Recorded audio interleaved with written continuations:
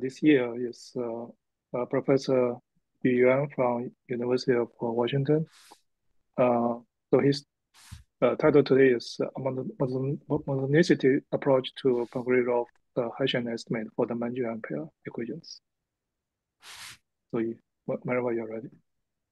Okay. Happy New Year, everyone. Uh, first, I want to thank uh, uh, for the invitation. Um, it's yeah, I'm happy to be here. Okay, so what I'm going to talk about today is uh, a, a Hessian estimate from uh, an integral approach for Hessian estimate, um, which was uh, done by Pogorelov. So first of all, so by the time right, Pogorelov is a it's a it's a good brand name. I don't know how many of you seen him. So by the time I was thinking of uh, inviting him, that's around 2006 or 2007. I found he already passed away. It's really, yeah, it's really unfortunate. That's great geometer and uh, PDL. Okay, let's start.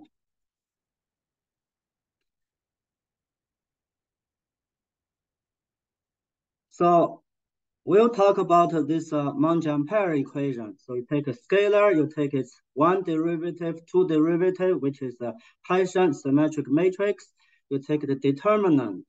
Then uh, in case that U is convex, um, then that determinant is positive, uh, uh, positive definite.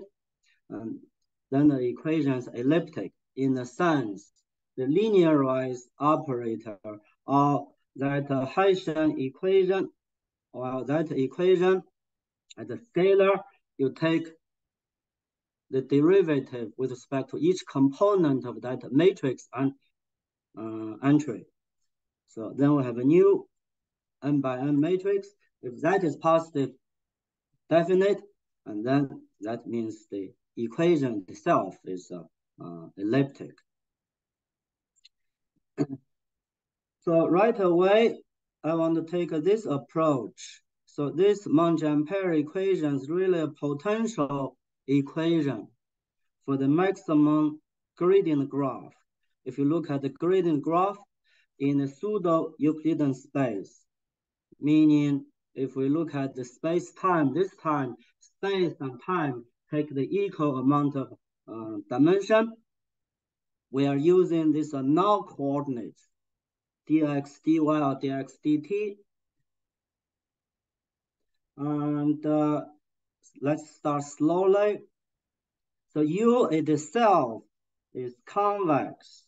That means its gradient or its derivative is monotone. And uh, that really means the tangential of that Lagrangian surface is space-like. That really means the induced metric on this Lagrangian surface.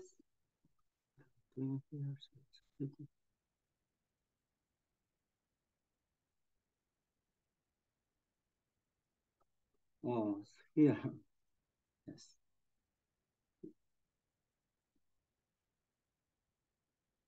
Yes. So that means uh, uh, that uh, the induced metric from the uh, from the pseudo Euclidean metric space-time uh, is literally that uh, Hessian of that potential U, flat Hessian. And the space-like really means well, it's positive. So we have a space-like metric on the Lagrangian graph.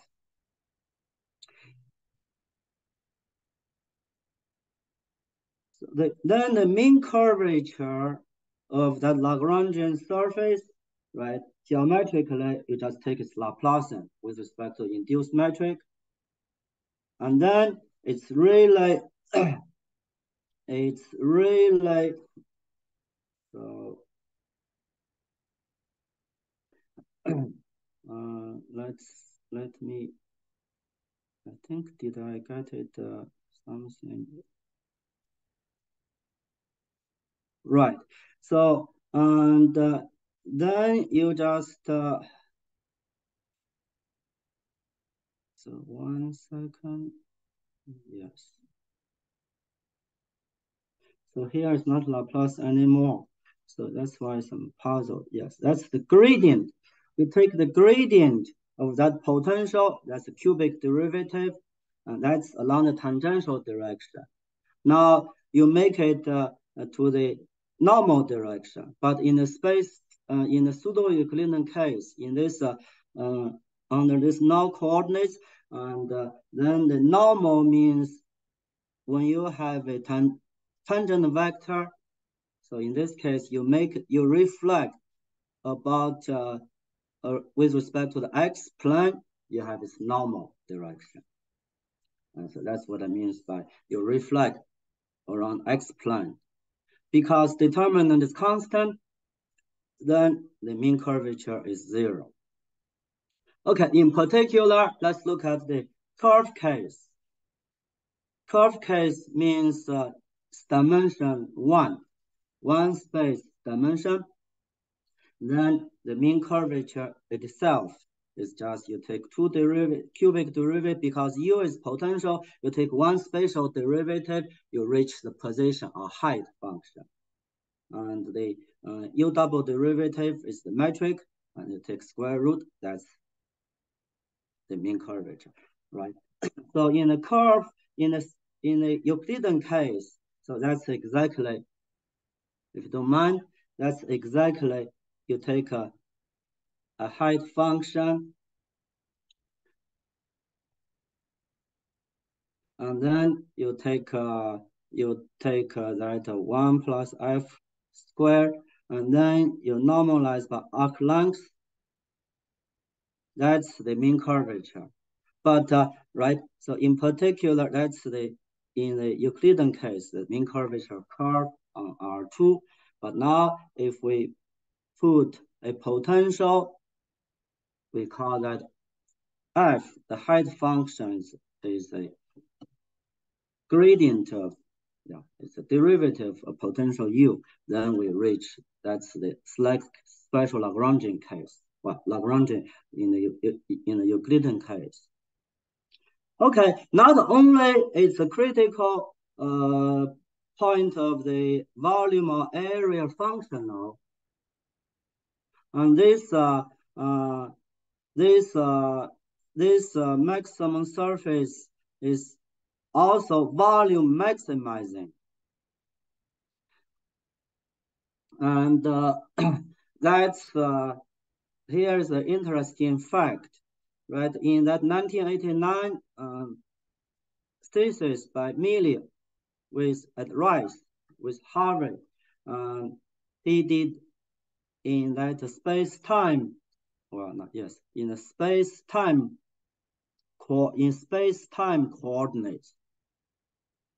And independently, that in 2006, Warren, in his uh, uh, in his uh, oral exam paper did this uh, under this uh, under this uh, null coordinates.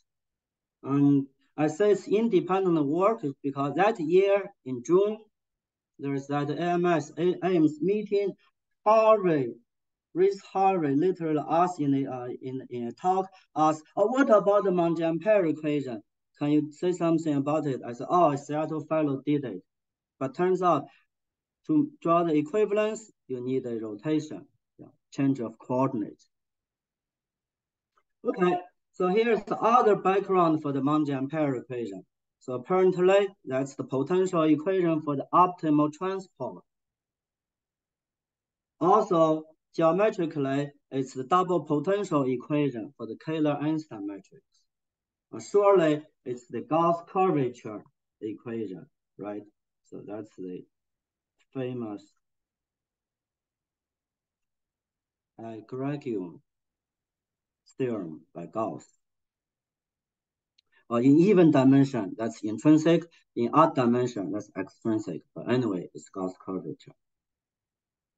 Okay, so that's a kind of long introduction of the equation, Monge-Ampere equation.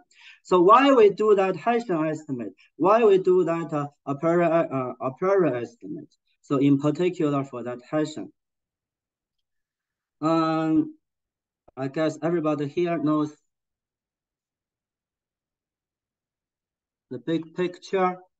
So let me just briefly repeat. So it is really the missing link ellipticity for fully nonlinear equation in the grand Schauder scheme or program.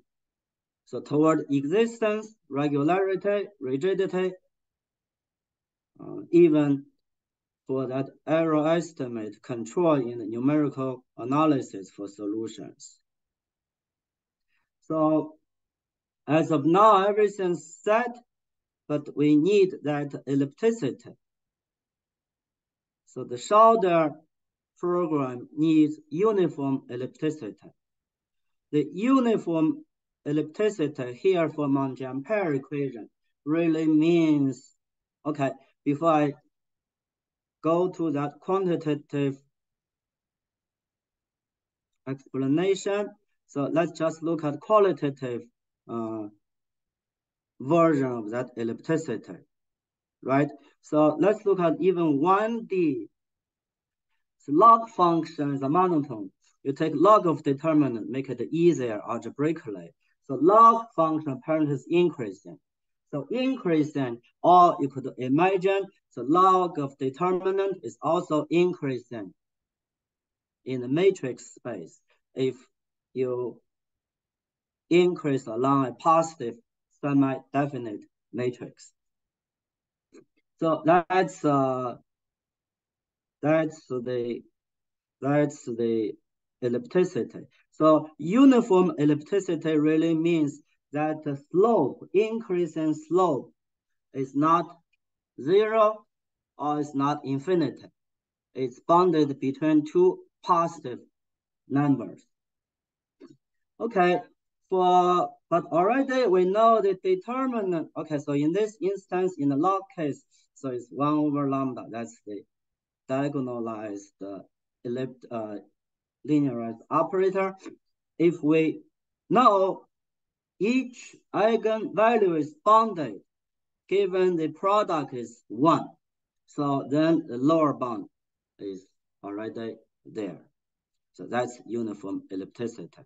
So to to get that uniform ellipticity, we all we need is the upper bound for the Hessian or for the eigenvalues. Okay, so that's uh, the uh, yeah that's the reason why we are doing upper estimates in particular for ellipticity for Monge-Ampere equation. The upper bound is enough.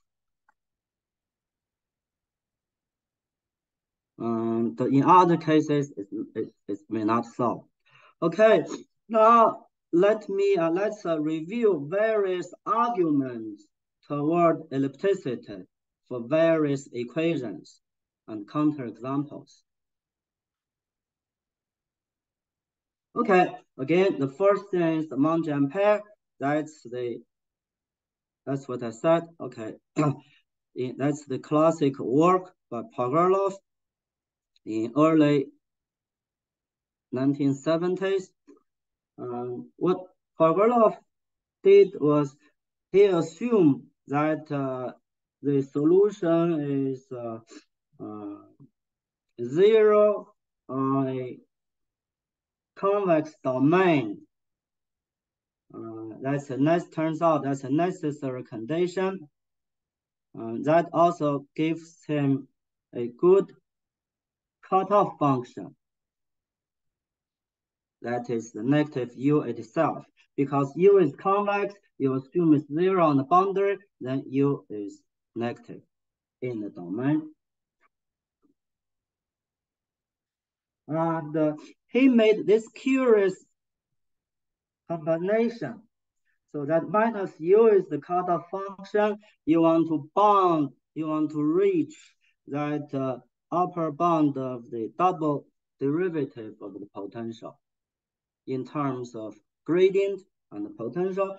And then he multiplied by that exponential e to the x squared. And it's really working. And uh, you check its maximum point because at the boundary it's zero. Uh, at the maximum point, you could have, uh, you could bound the double derivative. And then at the origin, the whole product is less than the maximum. At the maximum, you have you assume control of the gradient or, or potential, and then that means the double derivative at one point is bounded by the maximum point. Maximum point uh, at the maximum point, the double derivative is in terms of first derivative and uh, zeroth order derivative. So he got his Hessian estimate to me, it always was working, right? Creating this combination um, is really NP problem, non-poly, non-polynomial time. Checking is just a polynomial time. It's really, for me, it's always a mystery. So I'm always wondering, is there another way, uh, kind of natural and turns out, so there's this integral way. Actually, before that general dimension in 2D, uh, they you do not need that strict convexity assumption or linear boundary data. And Pogorelov did in 1964. So there's a qualitative, he got a qualitative bound using Alexandrov's qualitative strict convexity. And uh, so that's Pogorelov's uh, shot for 2D. And then, like now, by now it's seven years ago, Chen, Han, and Ou, they use some involved uh, pointwise estimate and involving that uh, eigen directions of those two eigenvalues of the 2D Hessian. And uh, actually, um, Pengfei Guan and Qiu, uh, like uh, six years ago, yes, uh, they did this. This one is really, really, I wouldn't call it elementary, but really neat. It's really tidy uh, argument. You just go with this again, another mysterious combination, and you just check it's working. And turns out this one's also working for sigma 2 equation. If you assume, well, they assume that uh, uh, the sigma 3 has a lower uh, bound, minus a billion or any lower bound. So it also works if the Hessian has a lower bound, arbitrary lower bound. You could also do it. And then, so the integral way for Monge-Ampere equation 2D uh, has another uh, approach that is through this uh, uh special Lagrangian formulation. That's what I did with uh, Warren, Michael Warren in 2006. And turns out that's a sharp uh, control. Sharp means you have counterexamples saying that the linear exponential control uh, of the uh, of the Hessian in terms of the gradient is yes tight. In in uh, in late 50s, Heinz did it by compactness for 2D Monge-Ampere. And uh, then in 2017, with that uh, Matt uh, McGonagle uh, Song uh, we did uh, using another complex argument, um, but it's almost for almost convex solutions to sigma two. in now three years ago, three, yeah, three years ago, Jiakun Liu uh, did a partial Lagrangian transform, and he got this explicit convexity estimate and did it. Okay, so as already alluded that uh, for slide, uh, you have it, uh, but it's exclusively that's joint work with Warren, Chen, and Dr. Wang. That's the general dimension. So that's for uh, 2008 work is for convex and large phase. Uh, here is for all the critical necessary critical and the supercritical phase. And uh, that's all because we interpret it as the minimum surface. And then it's the argument is integral. Um, and also Cai uh, did that, uh, wrote up that uh, compactness argument for when they, when, when in a uniform super um, critical constant phase. So then still I'm always wondering if, if there is a pointwise argument. Again, as I said, pointwise argument, if you are really, so to speak, creative, you create that combination and then you check its maximum. If you could estimate it, then you're done. Um, but to do that, I could never you know, do it yet. Okay, then for the quasi-linear equation, so that is minimum surface equation, and uh, the pointwise way is really done by Nick Korevaar in 1986. It's a really beautiful combination. It's working. And uh, so the integral way, that's the yeah, classic work by Bombieri, De Giorgi, and Miranda in 1969. It's mean value inequality using Sobolev, use Jacobian inequality. And then Trudinger gave a simplification. Uh, when they did it, when three of them did it, they used that Moser, uh, not De Giorgi Moser iteration to reach that mean value inequality and so on. And Trudinger just did it by well, by just plugging a fundamental solution and do this yeah, potential way. and then what they got is really a tight, a sharp estimate. The gradient is in terms of linear, depend exponential linear. Uh, depend the gradient is linear exponential height. Yeah, in terms of that uh, height, linear exponential uh, because that uh, Bob Finn had a counterexample showing that even in 2D, so that is you cannot you cannot go better than that. Uh, yeah, I already mentioned Bob Finn.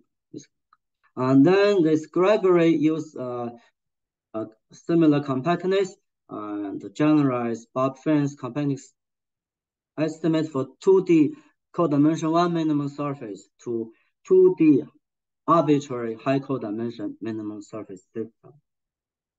For that, uh, I think I'm okay in terms of time. For that maximum surface, right, in space time, you just uh, put that time as negative, and then they determine the, the determine the length becomes the volume element becomes square root of 1 minus gradient i. Then to make it elliptic, uh, you require the gradient is less than uh, less than 1. That means space-like. If it is uh, yeah, if it's larger than 1, it's another story. So this, this becomes wave equation.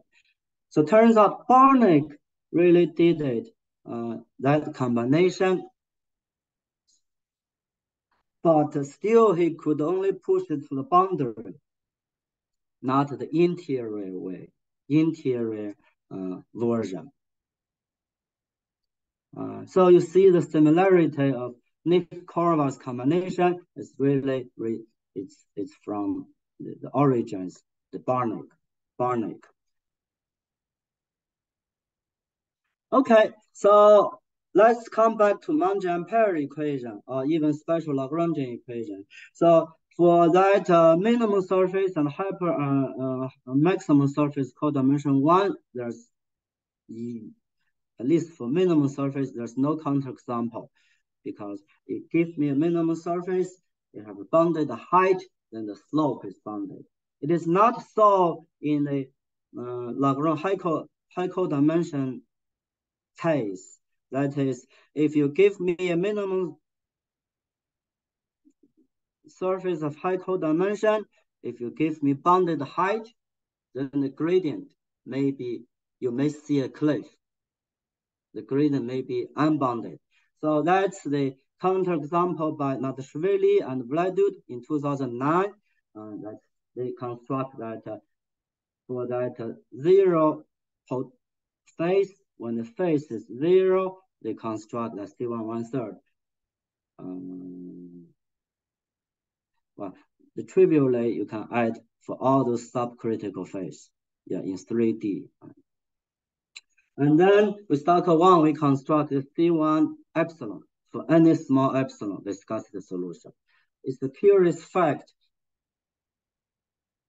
is their Lipschitz counterexample, just like the um, just like uh, just like uh, the Monge-Ampere uh, equation. So actually, Pogorelov in early 70s construct his C11 minus n over 2 counterexamples.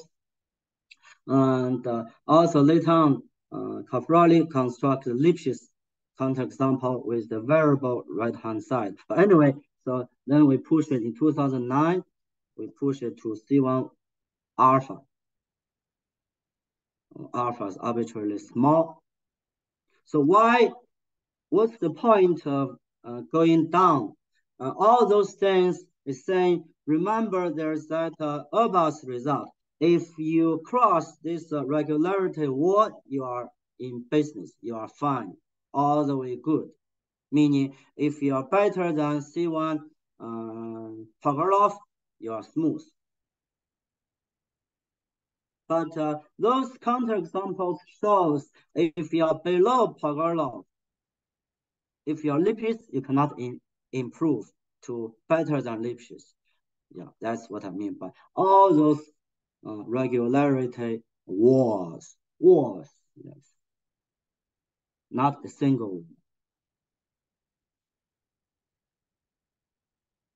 And for the for that maximum surface equation, there's that uh, simple, almost trivial counterexample.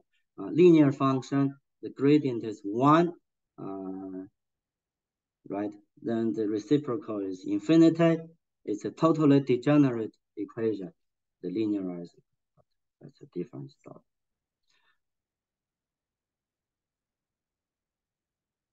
Okay, so before we head to the proof of that uh, argument for that integral approach for the Hessian estimate of Monge-Ampere equation. So any questions, comments?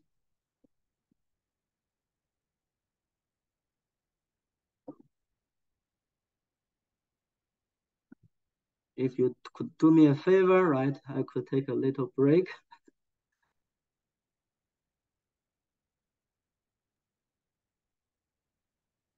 Sure, I've got a question.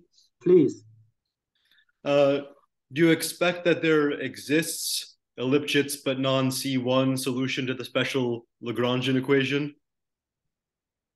Yeah, I believe so, but I couldn't construct it. That's hmm. what I told you, right? Because uh, uh, that's uh, Nikolai not really asked me about that. So they did. They he asked me two things. One is, can you improve that uh, once you have W two one, is there some improvement or some? Uh, we construct that thing. You can never do that. And then this thing, uh, for the Lipschitz one, he guessed it should be okay, but I yeah, I don't have the example. Mm. Thank you. Okay, so here we go. Let's look at the ideas of that uh, integral argument. So the ideal case is Laplace, right? I don't want to bore you, uh, but to me, I always want to go that. You use the divergence structure and the mean value inequality, immediately you drive that uh, estimate. And uh, for the pointwise uh, argument for uh, Laplace equation or general linear uniform equation. That's the Bernstein technique. Uh, that's why sometimes I call that uh, Pogorelov argument combination is Bernstein-Calabi-Pogorelov combination. Okay. Uh, that's that. Okay, so here's the statement, what I'm about to uh, try to prove. You have a determinant equals one, you assume U is convex, uh, you normalize it for U for uh, gradient is zero, and U itself is also zero at the origin, at a fixed point. And because we are using this space-time ambient space for the gradient graph, so we are using null coordinates for that space-time because we skip that two, so that's okay. So we have Rn cross Rn with the pseudo-Euclidean metric. Now the extrinsic distance is just x dot y. In Euclidean space, if your metric is dx squared plus dy squared, then that's just x squared plus y squared is the distance squared. So here the distance squared is x dot y. And uh, so let, let's go slow a little bit. So the extrinsic ball is uh, x dot ux because the height y part is u gradient x. And uh, so on the potential side, so the height is u is potential, the space is space, is u is, is convex, this is strictly convex. And uh, then, so that's the level set of that U, tau squared. If you make that uh, uh, that uh, yeah, relative tau square a small epsilon tau square, and then by we are assuming the boundary is uh, yeah, convex boundary is zero or is constant, and then U is convex, strictly convex, and by Caffarelli's level separation lemma, you, if you make that epsilon small enough, a dimensional small enough, then the level set of gamma tau would be inside that uh, the extrinsic ball, d tau. And then the statement is the following. The Hessian is bounded in terms of the gradient. And uh, the coefficient is the boundary of that uh, level set, the area of the boundary of the level set of uh, U, potential U, over the volume of that. The normalized version used by John's lemma, you can make this guy uh, the level set of potential between after affine transformation, make it between two balls up to a um, dimension n scaling. So that's that way. Okay, so how we do that? So step one, so we go with the monotonicity on the maximum surface. So that is, you give me any positive or non-negative superharmonic quantity, I call it Q. Superharmonic with the induced metric means Laplace of Q is less than zero.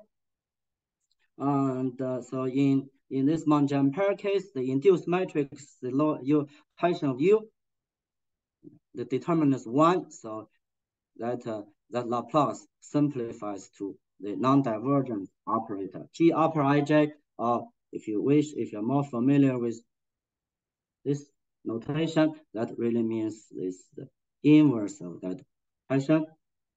Uh, if that is, if it's super harmonic, and then we have this inequality. So it really follows from the distance square, Laplace of distance square is 2n star. It's less than or equal to the gradient of distance squared over that distance square, uh, half n. And turns out that 2n half n is really important. So that gives exactly, uh, that gives the exact dimension n. So where is my n? So yeah, actually it's right here. Here really means it's Euclidean ball, tau n, omega n. In comparison, in the Euclidean case, the distance squared, well, assume it's minimum surface. It's 2n. It's, and then because in Euclidean case, the induced metric on the Lagrangian on the manifold is larger than the extrinsic distance. That's why this gradient over that is smaller. So that's our minimum solution. Step two, and then to make it work, you really have to have a vehicle, a quantity. Otherwise, it's just, you can only go with constant one. It's working, but that's still interesting. What's that superharmonic quantity? Turns out it's something, I call it a Jacobi inequality, Jacobi quantity. So that is, if you take something Laplace, it's strongly subharmonic in the sense it's larger than the gradient square. Uh, that is equivalent to, you make it reciprocal, uh, then that is equivalent to the Q is superharmonic. So in the Monge-Ampere case, you take the log of lambda max, and then you have a better uh, epsilon, larger epsilon. If you take log determinant plus one, or determinant of identity plus the Hessian, then it's a little bit rougher. But in any case, then, so that is roughly, not roughly, it's precisely, it's the maximum eigenvalue reciprocal with the exponent adjusted is super harmonic.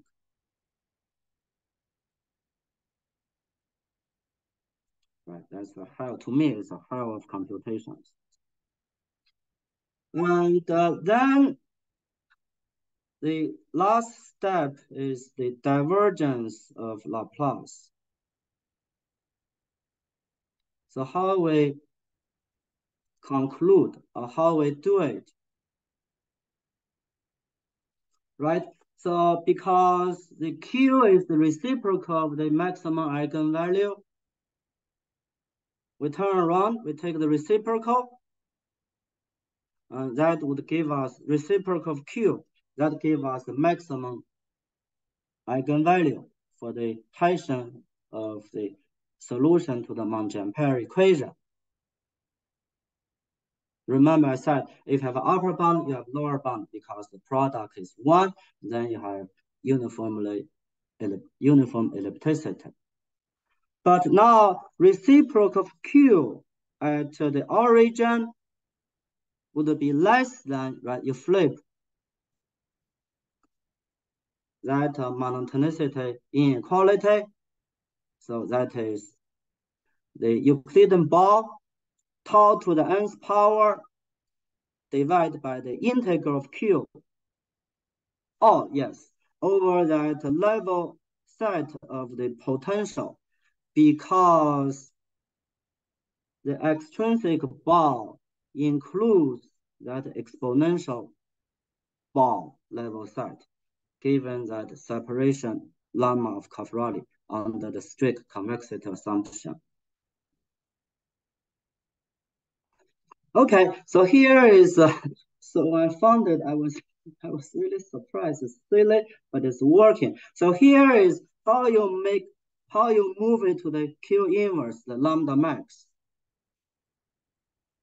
You do the following, right? It's really, you, you just call something one as Q times Q inverse.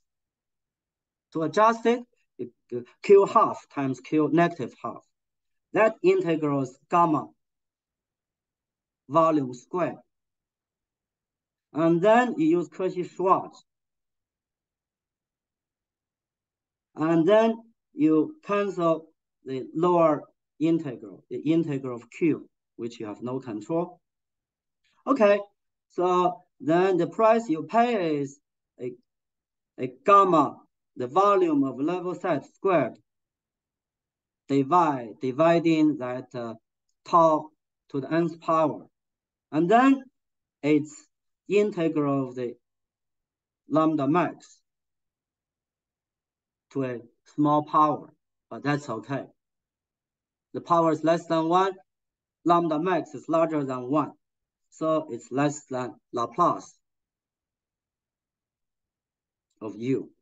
Once you have this Laplace, you're in business because it has divergence structure. You can lower the derivative to one by fundamental theorem of calculus. And then that's it. And now, if you know that John's lemma, and then you renormalize, and then also you know it's convex, you will see, yeah, when in a normalized version, so that is really just one over tau in that order. So that finished the proof.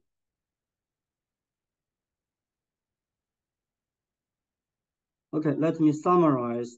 So you have a two version to the minimum surface.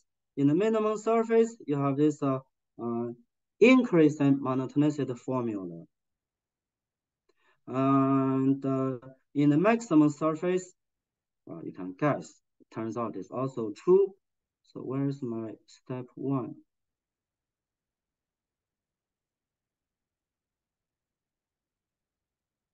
I deleted. Yeah, where's step?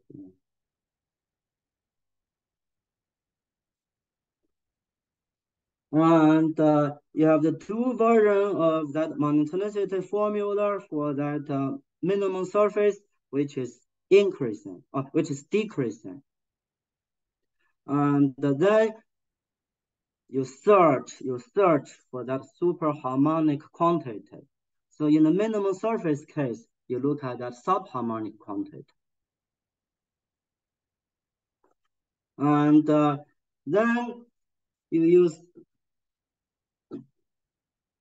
Then you move to that uh, Laplace. From that quantitative the Hessian, you move to Laplace. That's imaginable. And you take advantage of the divergence of Laplace. And then you can lower the derivative by one order and reach the desired estimate. So I specifically mentioned the divergence of Laplace it's like in the other rotated version, if I use space and time coordinates instead of null coordinates, then there's no corresponding divergence structure, so I couldn't do it. So that's a question I asked. So that is for the interior gradient estimate for maximum surface equation.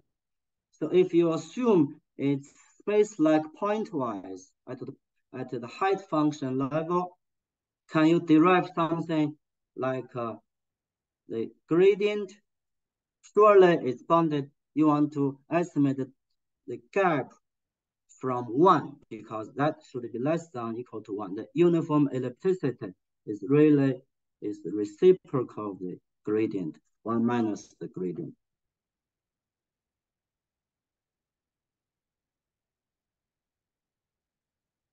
And uh, yeah, I couldn't do it because I cannot pull out. So those uh, uh, monotonicity formulas right there, the super harmonic quantities right there, but I do not have a divergence structure. That's one.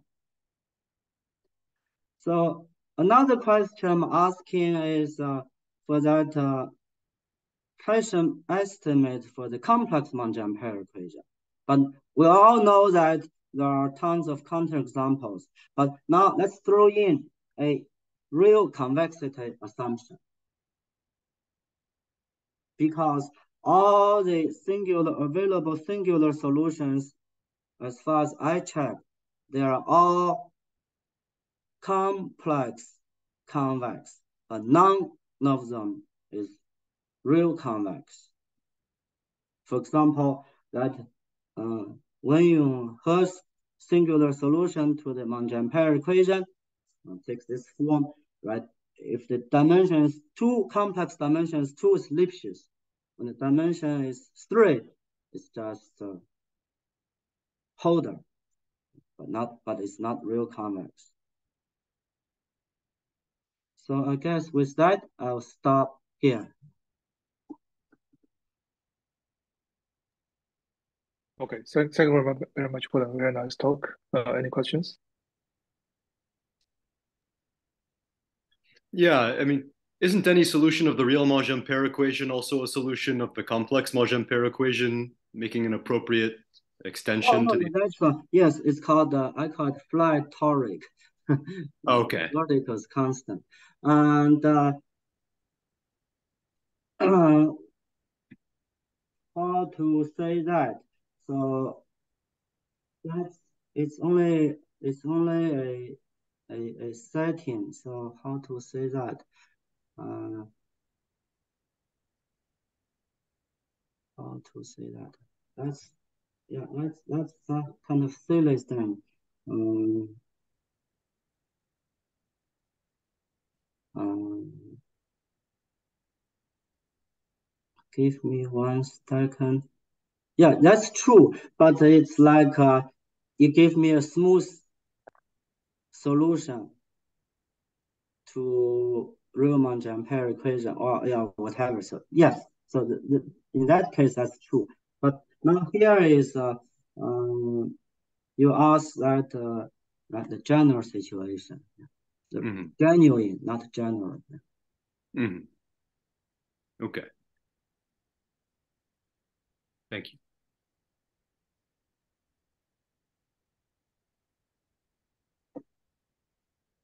Other questions? Yeah, sorry, I do have one yeah, more. Go ahead. Oh, sure, sure. So, uh, for real Monge-Ampere, one can construct counterexamples which are C1 alpha for any small alpha, exactly C1 alpha. And I think for special Lagrangian equation, you mentioned you have these examples which are C1 alpha, but for a very special sequence of alpha, like one over an odd integer or something. Yes, yes, yeah, that's, yeah, I, I should, uh, no, no, actually, I, I meant to um, brought up that comparison. Uh, so here you go. Mm -hmm. um, yeah, I meant to do it. So in, so in our construction with Caffarelli, uh, right? It's well, you make a rationalizing substitution, solving the Cauchy-Kovalevskaya. Yes, Kovalevskaya. And uh, but then I'm always wondering, can you go with those uh, irrational exponent? Mm -hmm. It turns out you did it. Right. right? Yeah, uh -huh. like you did it. So it's uh, uh, I assume it's also for arbitrary small exponent. Right right? So that's uh, so yes, so it's uh, I meant to make that comparison.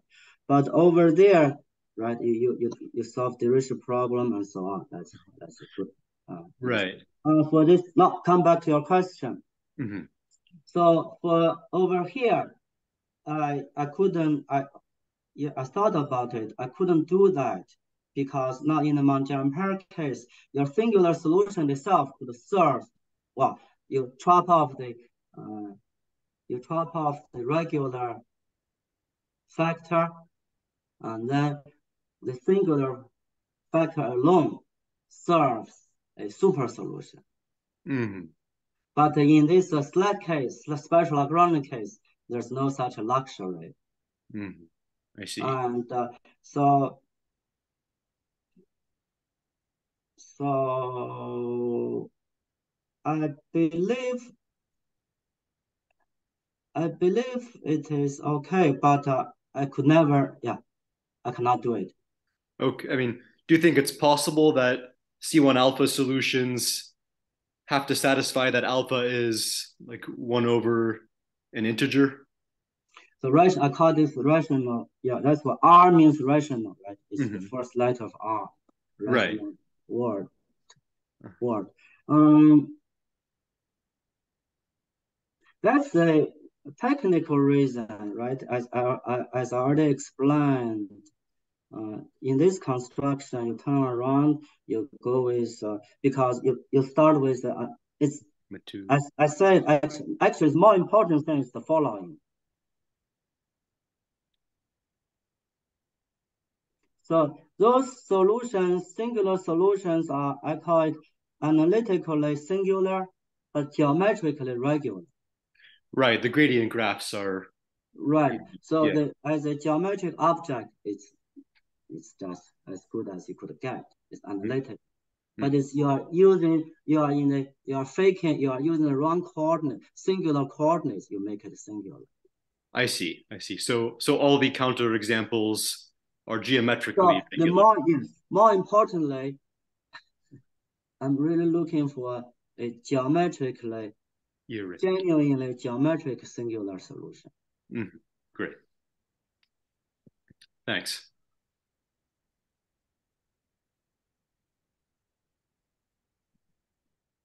Other questions? Uh, so in your last proof, uh, is this exponent n minus one uh, optimal?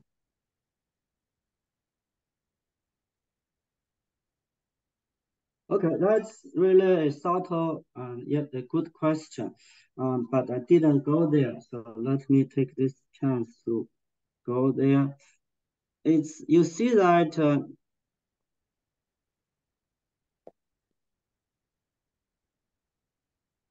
Uh, right, so here you go. So we could compare because I have that chart.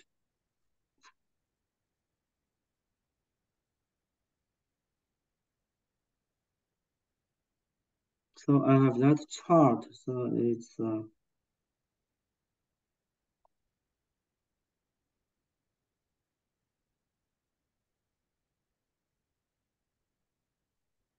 so that's the statement. So that exponent. So, but let me answer your question first. I don't know, but at least in uh, technically, in terms of this argument, if you could uh, find a better quantity for Q, uh, you will have a better expo smaller exponent. For example, already here provided two. So one is uh, lambda max. The other, the other is determinant uh, is the product of the second eigenvectors, right? Uh, but more important thing is the subtle thing is here. Then you say, oh, that's the Lie, uh, uh, polynomial dependence.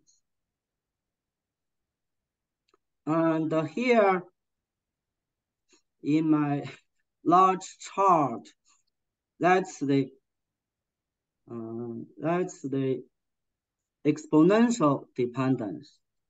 What's the difference? Also, I claim it's sharp. You can turn Bob Finn's counterexample minimum 2D minimum surface through that, uh, what's that? Uh, yeah, transformation, Heinz transformation to a 2D Monge-Ampere equation. The difference is here, so you assume your domain is fixed unit bar. And uh, in this formulation, your domain is not the unit bar in the X space, it's the level set of U. And uh, so it's a level set of U. So you normalize this way and still, yeah, it's, it's, yeah, you already normalizes between two bars. But over here, that means you already have this extra assumption. You assume let's let's assume it's as unit ball, but you assume u is zero on that unit ball. In that general situation, you never assume u is zero on the boundary of the unit ball. You just assume it's random. You have no affine boundary assumption posed on the boundary. So that's why uh, still it's yeah, still it's sharp that way. It's uh, it's sharp that way. Again, to answer your question, is that n minus one exponent sharp? I don't know. Okay, thank you. Uh, if no other questions, let's thank the speaker again.